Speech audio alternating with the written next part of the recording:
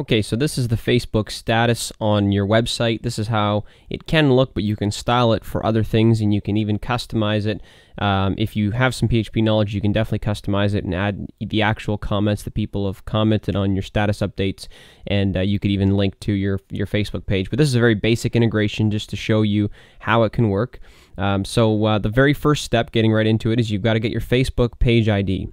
Now you can get this one of uh, two ways. Uh, so you either have a Facebook page for which the URL looks like this, and if this is the type of URL that, that your Facebook page is set up on, then you, it's really simple. You just have to grab the last numbers at the end, and that is your Facebook page ID. So save that for later because you'll need that. Uh, if you have a Facebook page that's more like this, however, uh, then what you'll need to do is you'll need to go to this URL up here, graph.facebook.com slash, and then I'm using our uh, Wetham Solutions' uh, Facebook uh, page as an example here. So I've typed ours in, you can get the, the data on it here, and just scroll down to the ID, and that's your Facebook page ID right there. Okay, so now that you've got your Facebook page ID, the next thing you've got to do is get your Facebook access token. So what you have to do is go to developers.facebook.com slash apps. And if you're registered as a developer already, you'll just see this create new app button right here. If you're not registered as a developer, in the same top right hand corner, you'll see register as a developer. Click that button and then follow through. And as soon as you're registered as a developer, you can then click create new app.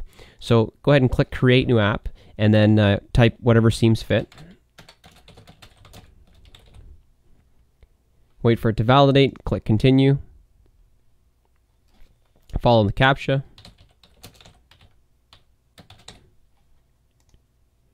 And now you've got your app ID and your app secret, which I've blurred out here just for security reasons.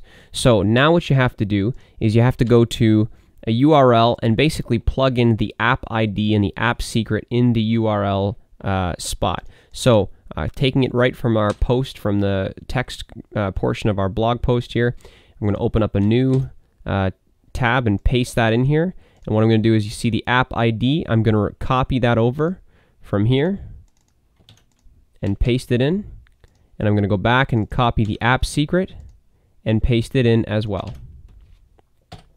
Then I hit enter and my access token is right here. So anything after the equals sign, you're going to take that and then copy it. So now you've got your Facebook page ID and your Facebook access token. Now you're ready to take the PHP code that we've provided and plug it into your website. So here's the PHP code that we've got. So just insert your Facebook page ID here and then insert your access token here. So long as you've got the correct uh, access token, you've got the right Facebook page ID and your app's been registered, then uh, as soon as you implement this code, uh, it will display. As soon as it does display, it will look like this. And of course, if you use our style that we've provided in option four as an optional CSS, uh, then you can uh, then it'll look like this, or you can, you know, of course, style it however you wish.